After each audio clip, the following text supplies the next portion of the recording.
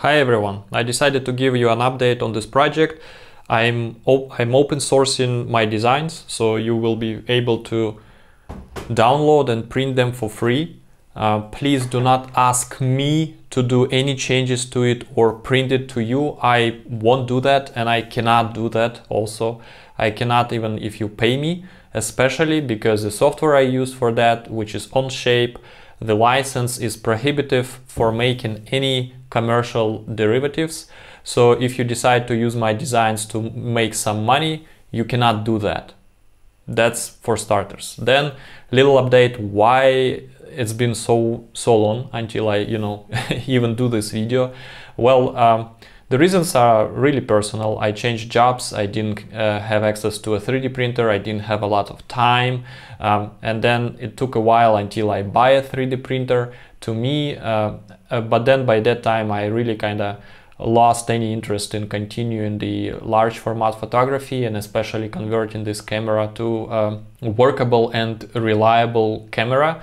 I might do that in future, there is no promise, uh, but I cannot tell you for future, of course. Um, I'm still have these designs, I have the 3D printer for now and maybe I will do it sometimes, but I don't have any intention right now to continue working on that project. So that's why I'm giving this update to you folks. So if you have been waiting and you haven't designed anything by that date right now, there you go. Go ahead and download and try to print in it. Uh, it's free you can use it.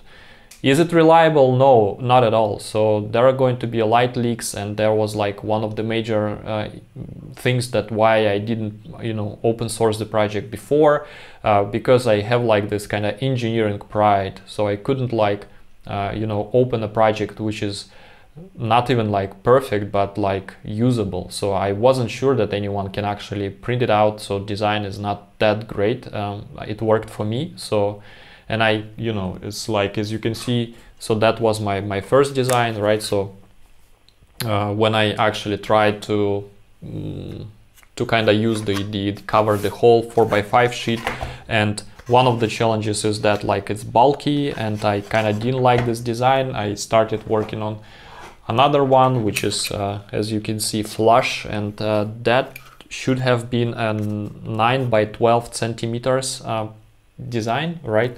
It kind of worked, but I never um, got to like really properly testing it. So I saw other designs. I my previous video um, inspired other people and they reached out to me and they actually tried to design something themselves and they would use like rubber bands to kind of to press the uh, basically the film holder against the back and that seemed to be working for them for them.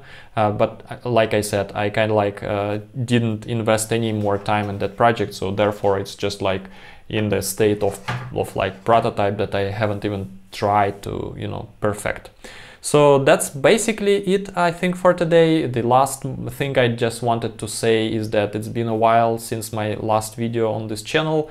Um, and uh, turns out this new YouTube regulations uh, I cannot earn any any money from my you know old videos if I don't record any new videos which is crazy if you can think about that. So that is also partially why I'm making this video.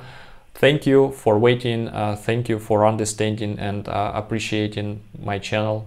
Hope you see you soon. Bye